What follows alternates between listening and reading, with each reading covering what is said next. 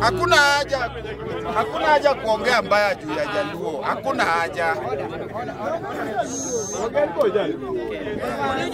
Nimekataa hiyo maneno, lakini kuna kitu moja imenikasiriza Kenya hii.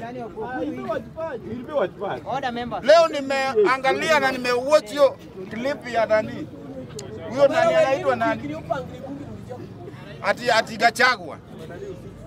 Akiwa anaongelelea mbaya juu ya Raila, si angemkataza hiyo siku. Ile siku Raila alienda uh, KICC kwa hizo vitu sijui wali, Ruto alishindwa kupea Wakenya chakula. Sasa sahii anasema ati sijui ni, ni, ni weather changes. Mi nataka nikuambie Gashagwa, Raila Kenya hii, huyo ni baba ya kila mtu na Raila, bila Raila hata we ungekuwa unakaa kama nyani ukiongelelea jina yake hapo ati huyo mzee